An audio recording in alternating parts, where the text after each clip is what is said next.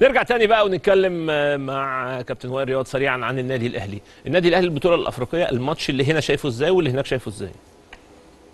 لا الماتش صعب جدا وهقول الكلام اللي طبيعي إن كل الناس تقوله إن إحنا لازم نحسم المباراة من هنا أو النادي الأهلي لازم يحسم يحسم المباراة من هنا لأن هيبقى فيها صعوبات طبعا في المغرب. أنت رايح آه، في المغرب هتعيش الأجواء اللي عشتها قبل كده و- والناس عارفة ال- ال- الأجواء بتبقى شكلها عامل إزاي هناك.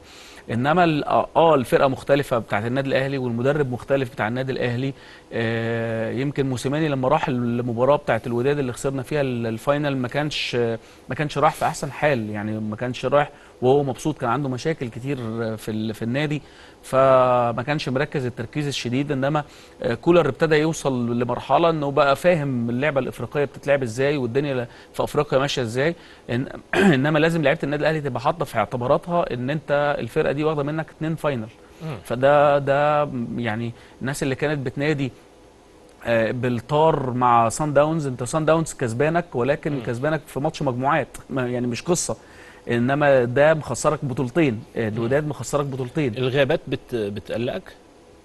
آه، طبعا أي غيابات من اللعيبة ال standard اللعيبة ال- ال- الأساسية طبعا لازم تأثر. اللي هم مين في النادي الأهلي دلوقتي؟ هو الأهلي دلوقتي فيه اساسي واحتياطي الراجل بيعمل روتيشن في أي حد بينزل بيتألق. ممكن أي تشكيلة تشوفها.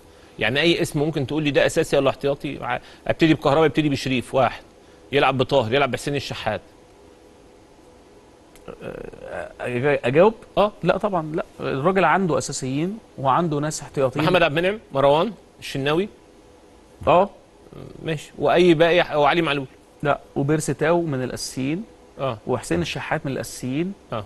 وكهربا ال forward الأساسي. إنما أي rotation تاني أصل أنا عندي قناعات مختلفة عن اللي بيتقال في الإعلام. إيه هو بقى؟ أنا قناعاتي إن الراجل ما كانش بيعمل ال rotation بسبب ال rotation عشان الإجهاد وال... وال... والإصابات والكلام ده. الراجل ما كانش عارف يوصل للتشكيلة م- صح، ال... صح. ال- اللي هي الفنية. ما حدش اداله 100% آه لغاية ما وصل للتشكيلة اللي بس كله اداله 100% في وقت واحد.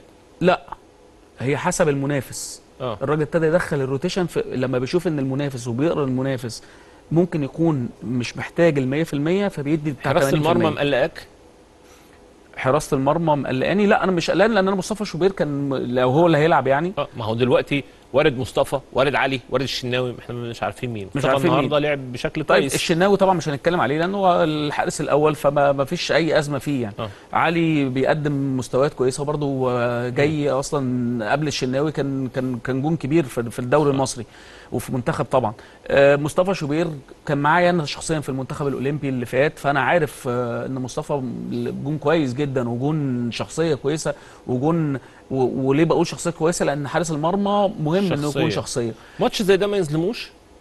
أو ممكن ماتش ده زي ده يصيطه آه. ما فيش لعيب بيفكر التفكير دوت.